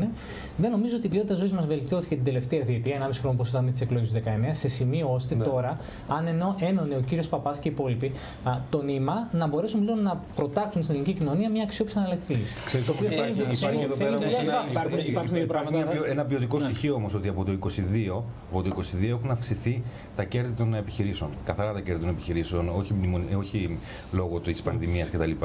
Α, Άρα έχεις οικονομία σε ανάπτυξη. Παρ' όλα αυτά το βιωτικό επίπεδο μειώνεται και ο πραγματικός μισθός την περασμένη χρονιά, νομίζω το 23 ήταν το 22, έπεσε κατά 5%. Και η αγοραστική Συνεπώς είναι, ε, Ναι, να σας ζήτημα, δώσω μια μισή είδηση. είναι ζήτημα διανομής Κύριε του Παπα, Θα εισοδήματο. σας πω. Ε, πρώτον, έχει δίκιο ο κύριος Οικονομίδης ότι έπρεπε να είμαστε πολύ πιο τολμηροί από το 18 και μετά που βγήκαμε από τα μνημόνια. Δηλαδή, ε, πέρα από το ότι ε, αναγγείλαμε την έξοδο από τα μνημόνια που ήταν ολόκληρη πραγματική και οριστική, ε, θα έπρεπε να τολμήσουμε ακόμα και με προστριβή με τους θεσμούς να κάνουμε δαπάνες οι οποίες θα αποδεικνύανε στους Έλληνες πολίτες άμεσα ότι υπήρξε μια αλλαγή κατάστασης. Δεύτερον, το, για, ο λόγος για τον οποίο στοιχειοδός ανέκαμψε η οικονομία μας, βρισκόμενη όμως στην 32η θέση από τις 36 που παρακολουθεί η Eurostat σε ε, ε, ονομαστικούς ρυθμούς ανάπτυξης και στην 27η σε πραγματικούς ρυθμούς ανάπτυξης, είναι ότι έγιναν πολύ μεγάλες δαπάνες. Τρίτον, και αυτό αποτελεί έτσι και μισή είδηση, στο κείμενο του συνεδρίου μας, επειδή την έκανε την επισήμανση Ναι. ο κύριος Οικονομίδης και δεν πρέπει να τα αποφεύγουμε, γίνεται σαφής αναφορά ότι το πρόγραμμά μας ε, αποκλίνει ρητά και κατά πολύ από αυτά που μπορέσαμε να εφαρμόσουμε το 2015-2019. Είναι ένα σαφές μήνυμα προς τον ελληνικό λαό.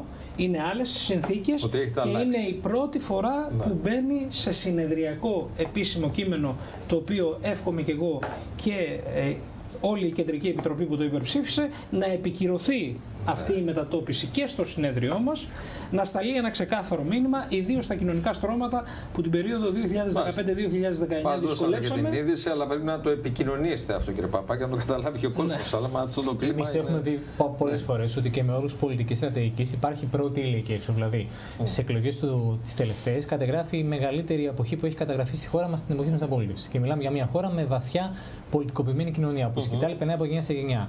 Άρα θεωρητικά ένας κόσμος ο οποίος, και εγώ γι' αυτό δεν συμφωνώ πολύ με το 40% που έλεγε ο Σπύρος πριν, ο οποίος απογοητεύτηκε από την κυβέρνηση, δεν βρήκε απλά εναλλακτική. και είναι και έξω και περιμένει. Εκείνη πλέον είναι δουλειά της αντιπολίτευση. Αν θα καταφέρει να τον ξαναφέρει στην εκλογική διαδικασία ή αυτό, όχι. είπα, αυτό, είπα, αυτό είπα και εγώ, ότι με την ε, επικοινωνιακή του υπεροπλία ο κ. Μητσοτάκης κατάφερε να πείσει ότι αυτό το σχέδιο φιλε, νεοφιλελεύθερης Ότι είναι ο μόνος αναδιάρθρωση δρόμος. της κοινωνίας είναι το μόνο σχέδιο που υπάρχει. Ο ΣΥΡΙΖΑ εδώ πέρα αδικείται γιατί είχε προτάσει. Είχε προτάσει για την ακρίβεια, είχε για τη στέγη, είχε για τα φαντς, είχε για την υγεία. Αλλά, δεν, κα- αλλά αυτές φαινόντουσαν αποσπασματικές και περιπτωσιολογικές. Δεν κατάφερε να τις συνθέσει σε ένα σχέδιο και να πείσει την ελληνική κοινωνία Μάλιστα. ότι αυτό είναι ένα διαφορετικό σχέδιο που στέκεται εξίσου και επίσης απέναντι στον Λοιπόν, κύριο δεν ξέρω αν Μητσοτάκη. έχετε σχόλιο, κύριε Παπά. Τι να Ε, κάνουμε, έχετε εδώ είπατε και πάνελ δημοσιογραφικό που ήταν καταιγιστικό. Λοιπόν, ε, να σε Και ευχαριστήσουμε. εγώ σε Κοινοβουλευτικό εκπρόσωπος του κόμματος Αξιωματικής Αντιπολίτευσης. Χρωστά.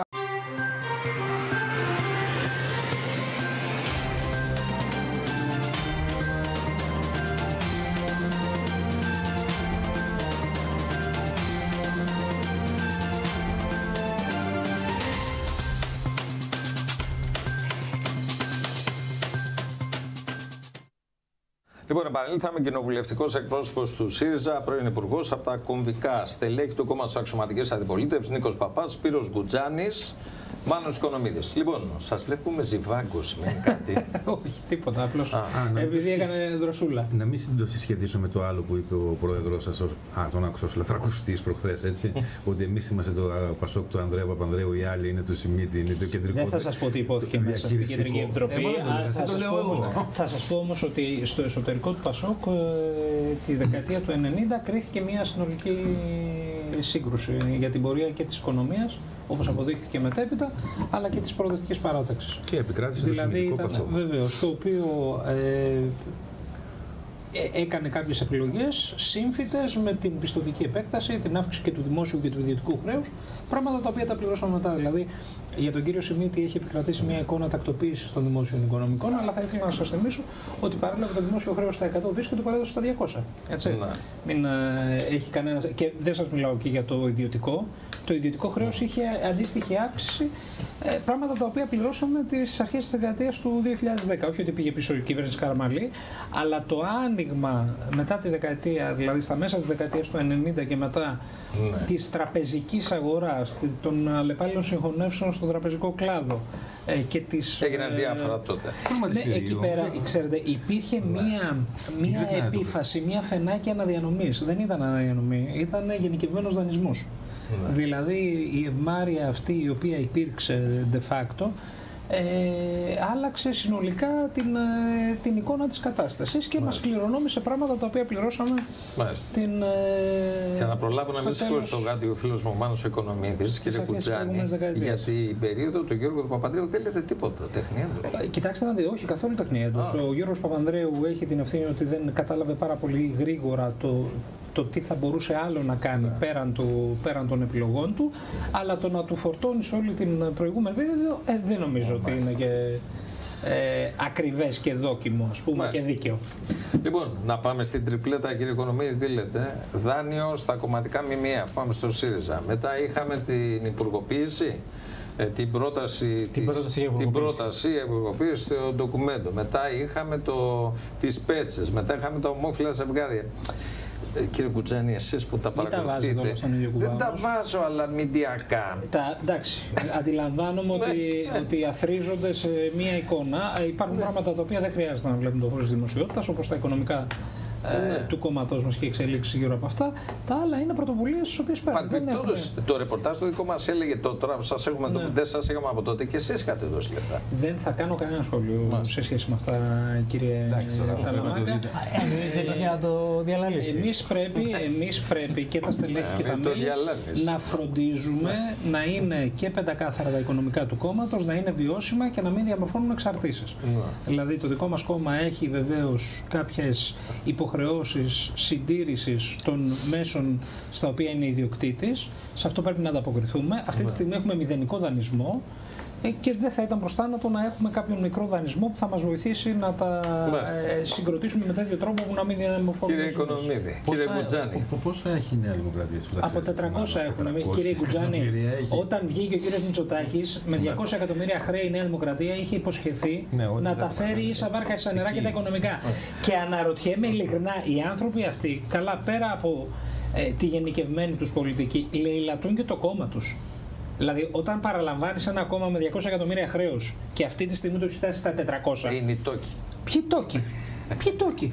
Δε- ποια, τόκοι, τράπεζα, ποια, εκλογές. ποια τράπεζα αφήνει αυτό το πράγμα να εξελίσσεται; Δεν καταλαβαίνω. Όταν είχε ξεκινήσει ήταν που είχε πει ο Άδωνης για, για κούρεμα στο χρέος. Ναι, όμως εδώ.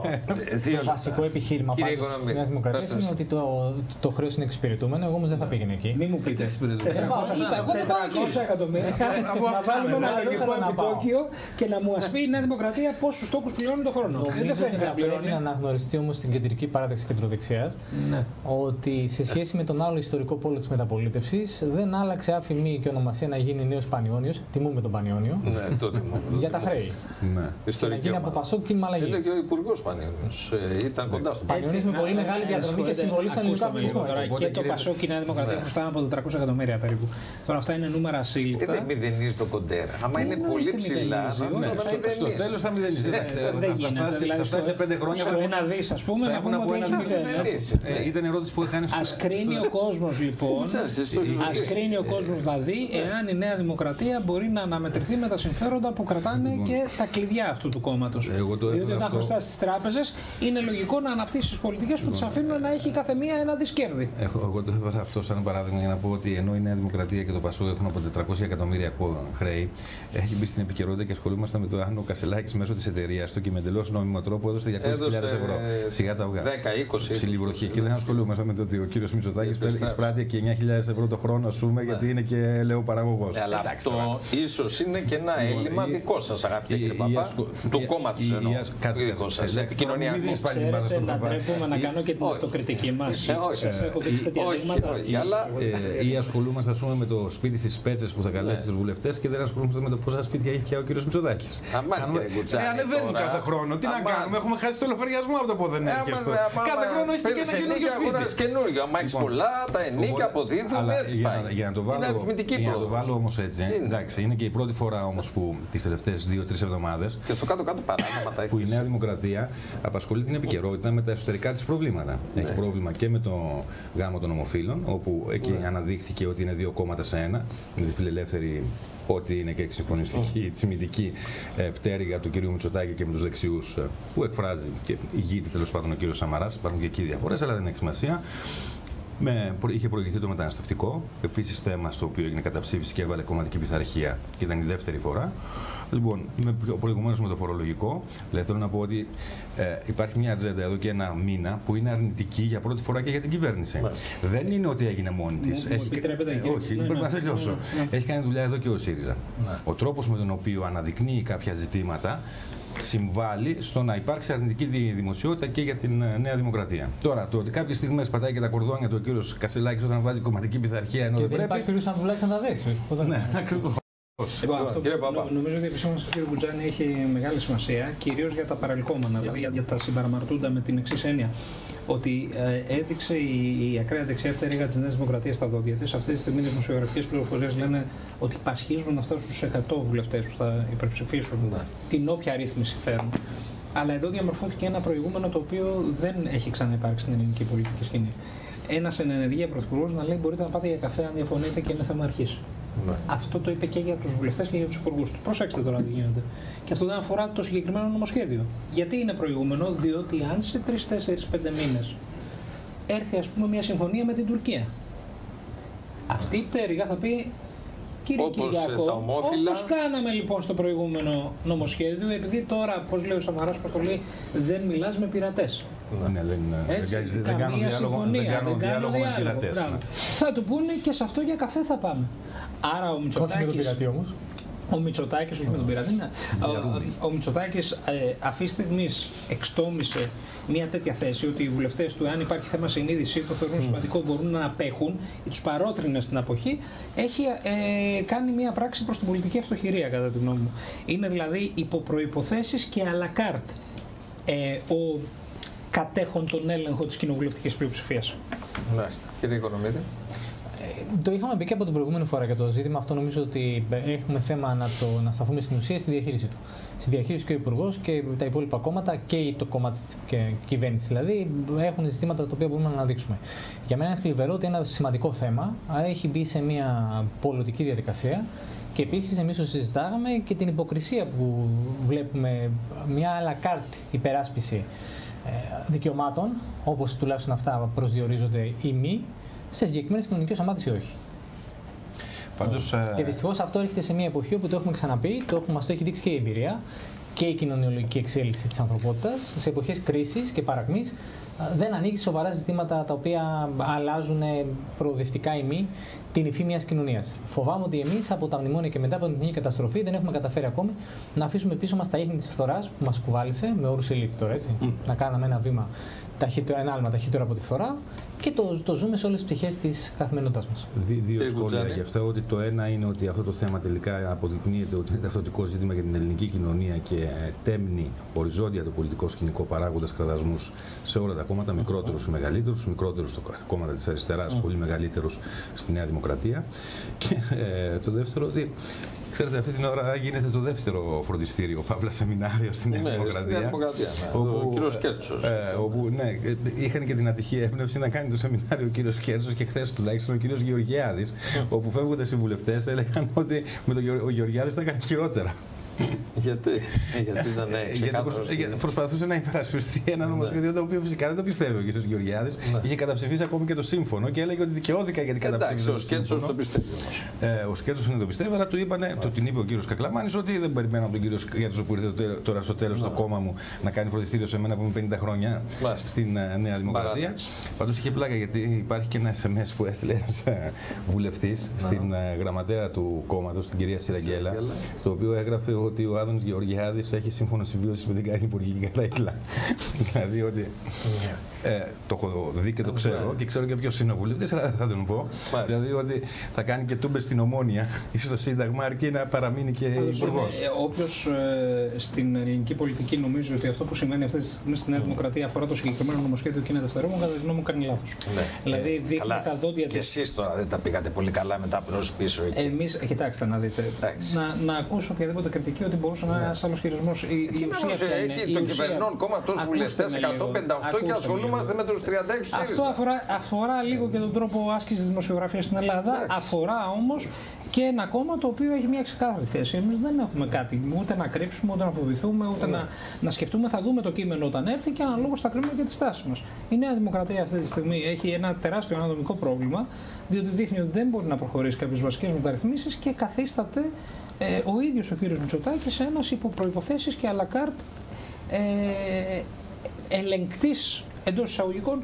μιας κοινοβουλευτικής πλειοψηφίας. Αν μου επιτρέπεις, δεν ξέρω αν τα καταφέρει ο κύριος Μητσοτάκης ή όχι. Έχει δείξει ότι σε αυτά τα καταφέρνει και βρίσκει μετά. Αλλά ε, όντως, αν βάλουμε πρώτα το μεταναστευτικό, ε, μετά το ο γάμο των ομοφύλων και ε, μαζί και τα ελληνοτουρκικά, ε, έχουν ανοίξει τρία θέματα που αγγίζουν την ιδεολογική και πολιτική φυσιογνωμία της Νέας Δημοκρατίας και τείνουν πια να διαμορφώσουν καθαρά ένα ρήγμα μεταξύ δύο διαφορετικών πτερίγων. Τώρα, πόσο βαθύ θα είναι και πώς θα καταμετρηθούν, παίζουν και άλλα πράγματα ρόλο. Το δεύτερο για τον ΣΥΡΙΖΑ είναι ότι ο ΣΥΡΙΖΑ πράγματι δεν έχει πρόβλημα δομικό ως προς το θέμα. Δηλαδή έχει 37 βουλευτές, ακόμα και αν ένας ή δύο διαφωνούν, δεν είναι ποτέ ζήτημα. Και δεν θα κρίνει και τα πράγματα από ό,τι φαίνεται. Άρα δεν έχει δομικό πρόβλημα σε αυτό. Όπως δεν έχει και η Νέα Αριστερά. Για να είμαι δίκαιος που άκουσα σήμερα πούμε, και την πρώτη τοποθέτηση του. Και εκεί θα υπάρχουν διαφοροποιήσει. Λοιπόν, αλλά ε, δεν έχει τέτοιο πρόβλημα. Έχει ένα πρόβλημα ενός ατικού πολιτικού χειρισμού. Να το πω έτσι. Α είναι ο κύριος Παπά. Α είναι ο κύριος Παπά. Δεν βάζεις. Σημειώσατε τρία ζητήματα. Θέμα κομματική πειθαρχία χωρίς να έχεις δει ένα νομοσχέδιο. Και για ένα νομοσχέδιο που θα φέρει ένα αντίπαλο κόμμα. Αλλά αυτό είναι πολιτικός χειρισμός. Σημειώσατε τρία πράγματα. Σημειώσατε τρία πράγματα τα οποία δεν είναι δευτερεύοντα. Δηλαδή το ζήτημα ας πούμε, της μετανάστευσης, το ζήτημα των λειτουργικών ή το ζήτημα των φιλελεύθερων μεταρρυθμίσεων. Ε, φαίνεται ότι έχουμε έναν συνασπισμό εξουσίας, ο οποίος είναι ακατάλληλος για να τα προωθήσει και να δώσει απαντήσεις σε αυτές τις σύγχρονε προκλήσεις. Δηλαδή, το αμάλγαμα, το μείγμα ακροδεξιών και φιλελεύθερων που έχει καταφέρει ο κ. Μητσοτάκης να μαζέψει γύρω του. Δεν μπορεί, αυτό, δεν μπορεί να, τα, να απαντήσει σε αυτέ τις μεγάλες προκλήσεις. Άρα η ελληνική κοινωνία ναι. έχει ανάγκη από έναν νέο συνασπισμό εξουσίας προοδευτικών δυνάμεων που θα μπορεί και σε αυτά τα ζητήματα τώρα, να κάνει τις απαραίτητες τομέ. Γιατί το κάνετε δύσκολο; Όταν λέτε συνασπισμός εξουσίας, εντάξει, εγώ να δεχτώ ναι. ότι ο ΣΥΡΙΖΑ θα πάει και καλά, ας πούμε, και ότι θα έχει τη δυναμική του και θα τη δείξει στις ευρωεκλογές. Ο συνασπισμός εξουσίας με ποιος θα γίνει; Με ποιον. Θα αποφασίσει ο ελληνικός λαός. Εμείς λέμε και φαίνεται και από τις τοποθετήσεις των κομμάτων αυτή τη στιγμή ότι μόνο η ενίσχυση του ΣΥΡΙΖΑ μπορεί να ανοίξει το δρόμο για την ανατροπή της κυβέρνησης Μητσοτάκη. Το Πασόκ είναι μια συμπληρωματική μέχρι στιγμής δύναμη. Με ποια έννοια, δεν θέλω να προσβάλλω κανέναν προς Θεού, αλλά έχει δείξει ο κ. Μητσοτάκης ότι έχει τη δυνατότητα αυτή τη στιγμή να το χρησιμοποιεί ως αυλή στην οποία βγαίνει και κόβει διάφορα μπουμπούκια κάθε φορά που το χρειάζεται. Παίρνει το φλωρίδι, παίρνει τη δημαδάμα. Παίρνει... Ναι. Δηλαδή μπορεί και στην επόμενη στροφή, επειδή υπάρχει απόθεμα ε, αυτής της πολιτικής σχολής και εντός του Πασόκ να ε, ξανακάνει μια τέτοια κίνηση. Αυτό είναι μια ευθεία πολιτική κρατική, την οποία νομίζω ότι ο κύριος Ανδρουλάκης θα μπορούσε πάρα πολύ εύκολα να την ε, αντιπαρέλθει και πριν τις προηγούμενες εκλογές. Τη έκοψε όμως τις γέφυρες ο κύριος Κασελάκης προχθές το Να σας πω κάτι, κύριε Ταλαμάγκα, είμαστε σε προεκλογική περίοδο. Μην περιμένετε να βλέπετε πολλές αγάπε. Οι σχέσεις των κομμάτων είναι de facto ανταγωνιστικές. Αλλά το δομικό πρόβλημα του Πασόκ, και γι' αυτό δεν μπορεί να είναι ανταγωνιστική δύναμη στη Νέα Δημοκρατία, είναι ότι έχει αποδειχθεί ότι είναι και ε, ως προς ένα κομμάτι του τουλάχιστον συγκοινωνούν δοχείο με την κυβερνόση. Το θέμα του γάμου των ομοφύλων, το μεγαλύτερο πρόβλημα μετά τη Νέα Δημοκρατία το έχει το Πασόκ δεν το έχει ο ΣΥΡΙΖΑ. Και ας ήταν ατυχής mm. αυτός ο χειρισμός, είναι το ΠΑΣΟΚ, όπου είναι και τριχοτομημένο. Αλλά τώρα δεν έχω τα ονόματα για να σας πω ας πούμε, που το Υπάρχουν δύο πρόσωπα, είναι και ο Μιχαηλίδης, ο βουλευτής από τη ΧΙΟ και Άνω, ένας βουλευτής από τη Δράμα που έχουν εκφραστεί μέχρι και τώρα. Η κυρία, η κυρία Λιακούλη θα απέχει μάλλον και να δούμε, που έχει και κομβικό ρόλο. Λοιπόν, να δούμε λίγο την κάρτα με την οικονομία και να, να πάμε να μας πείτε την άποψη, επειδή είστε και το ΜΕΑΚ των οικονομικών. Για βάλτε την κάρτα, κύριε Πυρσίμ. Λοιπόν, αν είσαστε ήσασταν εσείς, εδώ είναι η αυξήση στα τρόφιμα, το Νοέμβριο. Ε, Ελλάδα 31,5 το λάδι παράδειγμα, ο μέσος Ευρωπαϊκής Ένωσης 5,9. Το μοσχάρι 7,9 στην Ελλάδα, 4 στην Ευρωπαϊκή Ένωση. 9,5 στα ψάρια, ε, δεν έχουμε ψάρια, είμαστε και το βουνού χώρα. Ε, 5,8. Δεν έχουμε καθόλου θάλασσα. Καθόλου θάλασσα, ναι. 5,8 στο μέσο όρο στην Ευρωπαϊκή Ένωση. Ούτε κότες έχουμε. 8,6 αύξηση τα αυγά στην Ελλάδα, 2,1 στην Ευρωπαϊκή Ένωση, το τυρί, το γάλα αν ήσασταν εσείς, τι θα κάνατε για να συγκρατήσετε. Δεν ε, χρειάζεται να ανακαλύψουμε την Αμερική. Μείωση των άμεσων φόρων και πλαφών στις, ε, στα κέρδη των εισαγωγών και των χονθρεμπόρων. Πλαφών. Βέβαια, δηλαδή στο ποσοστό κέρδους, βεβαίως. Δεν είναι δυνατόν να συμβαίνει αυτό το πράγμα, με συγχωρείτε. Δηλαδή η ίδια εταιρεία. Διότι και να φύγει το κέρδος απληστία. Οι, οι πολυεθνικές όταν κάθονται και τιμολογούν για τις διάφορες ναι. χώρες στις οποίες αναπτύσσουν τη δραστηριότητά τους, κοιτάνε και μετράνε αν υπάρχουν συνθήκες ανταγωνισμού ή μπορούν να κινηθούν με λογικές καρτέλ. Mm. Έχουν καταλάβει, ας πούμε, η Procter Gamble για παράδειγμα που έχει. Πολύ εθνική. Ναι, ναι, ναι, έχει καταλάβει ότι, ότι εδώ δεν θα την εμποδίσει κανένας να κάνει αυτή τη τιμολογιακή πολιτική. Έτσι δεν είναι. Όπως μου είπε ένας παράγοντας της αγοράς, ε, πράγματι είναι εισαγωμένοι γιατί έρχονται εδώ και βγάζουν τα σπασμένα τους. Ναι. Δεν μπορούν να κάνουν εκεί τις υπερογέ αυξήσεις και κάποιες φορές λόγω του ανταγωνισμού κάποιοι χάνουν τα κάνω στην Ελλάδα όπου η αγορά είναι, ναι, δεν μα, είναι μα, ελεύθερη. Μα, είναι, ανθίζει όμως ο ανθό της ευκροκέρδεια στον κήπο της ελληνικής αγοράς ανθίζει. Αυτό όμως δείχνει και την αποτυχία του κυρίου Μητσοτάκη, ο οποίος βάσει όλο του το φιλελεύθερο πρόγραμμα για την οικονομία που στον ανταγωνισμό και στην ελεύθερη λειτουργία της αγοράς. Αλλά γιατί, όχι σαν αυτό σκοπό, γιατί δήθεν αυτό θα πρόσφερε τις καλύτερες δυνατές υπηρεσίες ε, στους καταναλωτές με τις καλύτερες δυνατές τιμές. Και έχει αποτύχει και τα δύο. Ούτε υπηρεσίες έχει, ούτε τιμές έχει. Αλλά παρόλα αυτά, ιδεολειπτικά νεοφιλελεύθερος δεν κάθεται να αναθεωρήσει αυτό το μοντέλο της οικονομίας. Και αργά ή γρήγορα θα του βγει. Μάλιστα. Κύριε Οικονομίδη. Ναι, νομίζω ότι το ενδιαφέρον και με την αρχιτεκτονική της επιχειρηματολογίας του Υπουργού είναι να το πάμε λίγο παραπέρα ως εξής. Η ακρίβεια, δηλαδή η ποιότητα ζωής μας. Κάποτε θυμάστε το 1992 όταν ο Μπιλ Κλίντον κέρδισε α, και σε φάση έκπληξης τι εκλογές απέναντι στον πρεσβύτερο Μπούς, κυρίως λόγω της παρουσίας του Ρος Περό. Το επιτελείο του είχε αρθρώσει το, το σύνθημα το οποίο έκτοτε μας συνοδεύει σε κάθε εκλογική αναμέτρηση ότι είναι η οικονομία ανόητη. Η οικονομία, όπως το είχαν εξηγήσει ακριβώς, αναφέρονταν στην ποιότητα ζωής. Γιατί είναι το πώς βιώνει ο καθένας μας. Είναι εξατομικευμένο πέραν της συλλογικής οντότητας το πώς το αντιλαμβάνεις. Ο ΣΥΡΙΖΑ λοιπόν νομίζω ότι εδώ το βασικό του πρόβλημα και ήταν και το στήμα για τον Υπουργό αλλά και για την καινούργια ηγεσία. Γιατί να μην ξεχνάμε ότι ο κ. Κασελάκης, τον οποίο του προσάπτουν πολλά αρνητικά, αλλά ακριβώς επειδή δεν έχει φθορά παρελθούσας παρουσίας σε κάποιο αξίωμα, δυνητικά μπορεί να είναι καλύτερος message builder, δηλαδή να χτίσει ένα μήνυμα, το οποίο να περάσει, βλέπεις και τα βιντεάκια αυτά. Ε, αισθάνομαι ότι δεν έχει καταφέρει ο ΣΥΡΙΖΑ ακόμη να αποτινάξει από πάνω του τους λόγους για τους οποίους έχασε το 19. Δηλαδή ότι φυσικά καταλαβαίνουμε έτσι υπήρχε το μνημόνιο, το οποίο βεβαίως χρεώθηκε και ότι ένα κομμάτι του, γι' αυτό και ήρθε το τρίτο η Νέα Δημοκρατία έλεγε το αχρίαστο μνημόνιο. Αλλά και μετά το διάγγελμα του κ. Τσίπρα τότε στην Ιθάκη, ότι τελείωσαν τουλάχιστον η μνημονιακή εξάρτηση της χώρας, αλλά όχι οι νόμοι που μας συνοδεύουν. Δεν νομίζω ότι η ποιότητα ζωής μας βελτιώθηκε την τελευταία διετία, 1,5 χρόνο όπως ήταν με τις εκλογές του 19, σε σημείο ώστε ναι. τώρα, αν ενώ ένωνε ο κ. Παπάς και οι υπόλοιποι το νήμα, να μπορέσουν μιλούν να προτάξουν στην ελληνική κοινωνία μια αξιόπιστη αναλλακτική. Ξέρετε, υπάρχει, υπάρχει εδώ πέρα ένα ποιοτικό στοιχείο όμως ότι από το 22, από το 22 έχουν αυξηθεί τα κέρδη των επιχειρήσεων. Καθαρά τα κέρδη των επιχειρήσεων, όχι, όχι λόγω της πανδημίας κτλ. Άρα έχει οικονομία σε ανάπτυξη. Παρ' όλα αυτά το βιωτικό επίπεδο μειώνεται και ο πραγματικός μισθός ε, την περασμένη χρονιά, νομίζω το 23 ήταν το 22, έπεσε κατά 5%. Συνεπώς είναι, ε, ζήτημα, είναι ζήτημα διανομής του εισοδήματος. Θα σας πω, ε, πρώτον, έχει δίκιο ο κύριος Οικονομίδης ότι έπρεπε να είμαστε πολύ πιο τολμηροί από το 18 και μετά που βγήκαμε από τα μνημόνια. Δηλαδή, ε, πέρα από το ότι ε, αναγγείλαμε την έξοδο από τα μνημόνια που ήταν ολόκληρη πραγματική και οριστική, ε, θα έπρεπε να τολμήσουμε ακόμα και με προστριβή με τους θεσμούς να κάνουμε δαπάνες οι οποίες θα αποδεικνύαν στους Έλληνες πολίτες άμεσα ότι υπήρξε μια αλλαγή κατάστασης. Δεύτερον, το, για, ο λόγος για τον οποίο στοιχειοδός ανέκαμψε η οικονομία μας, βρισκόμενη όμως στην 32η θέση από τις 36 που παρακολουθεί η Eurostat σε ε, ε, ονομαστικούς ρυθμούς ανάπτυξης και στην 27η σε πραγματικούς ρυθμούς ανάπτυξης, είναι ότι έγιναν πολύ μεγάλες δαπάνες. Τρίτον, και αυτό αποτελεί έτσι και μισή είδηση, στο κείμενο του συνεδρίου μας, επειδή την έκανε την επισήμανση ναι. ο κ. Οικονομίδη και δεν πρέπει να τα αποφεύγουμε, γίνεται σαφής αναφορά ότι το πρόγραμμά μας ε, αποκλίνει ρητά και κατά πολύ από αυτά που μπορέσαμε να εφαρμόσουμε το 2015-2019. Είναι ένα σαφές μήνυμα προς τον ελληνικό λαό. Είναι άλλες συνθήκες και είναι η πρώτη φορά ναι. που μπαίνει σε συνεδριακό επίσημο κείμενο το οποίο εύχομαι και εγώ και ε, όλη η Κεντρική Επιτροπή που το υπερψήφισε να επικυρωθεί αυτή η μετατόπιση και στο συνέδριό μας, να σταλεί ένα ξεκάθαρο μήνυμα, ιδίως στα κοινωνικά στρώματα που την περίοδο 2015-2019 δυσκολέψαμε. και την είδηση, αλλά πρέπει να το επικοινωνήσετε αυτό, κύριε Παπά, και να το καταλάβει και ο κόσμος. Ναι. Αλλά με αυτό το κλίμα. Εμείς το έχουμε πει πολλέ ναι. φορές ότι και με όρους πολιτικής στρατηγικής υπάρχει πρώτη ύλη εκεί έξω. Δηλαδή, mm. στις εκλογές τις τελευταίες κατεγράφει η μεγαλύτερη αποχή που έχει καταγραφεί στη χώρα μας στην εποχή της ανταπόλυτη. Και μιλάμε για μια χώρα με βαθιά πολιτικοποιημένη κοινωνία που mm-hmm. σκητάλη περνάει από γενιά σε γενιά. Άρα θεωρητικά ένας κόσμος ο οποίος, και εγώ γι' αυτό δεν συμφωνώ πολύ με το 40% που λέγει ο πριν, ο οποίος απογοητεύτηκε από την κυβέρνηση, δεν βρήκε απλά εναλλακτική. και είναι και έξω και περιμένει. Εκείνη πλέον η δουλειά της αντιπολίτευση. Αν θα καταφέρει να τον ξαναφέρει στην ε, εκλογική διαδικασία αυτό, αυτό, είπα, αυτό είπα και εγώ, ότι με την ε, επικοινωνιακή του υπεροπλία ο κ. Μητσοτάκης κατάφερε να πείσει ότι αυτό το σχέδιο νεοφιλελεύθερης αναδιάρθρωσης της κοινωνίας είναι το μόνο σχέδιο που υπάρχει. Ο ΣΥΡΙΖΑ εδώ πέρα αδικείται γιατί είχε προτάσει. Είχε προτάσει για την ακρίβεια, είχε για τη στέγη, είχε για τα φαντ, είχε για την υγεία. Mm. Αλλά, δεν, αλλά αυτές φαινόντουσαν αποσπασματικές και περιπτωσιολογικές. Δεν κατάφερε να τις συνθέσει σε ένα σχέδιο και να πείσει την ελληνική κοινωνία ότι αυτό είναι ένα διαφορετικό σχέδιο σχέδιο που στέκεται εξίσου και επίσης απέναντι στον λοιπόν, κύριο Δεν ξέρω αν έχετε σχόλιο, κύριε Παπά.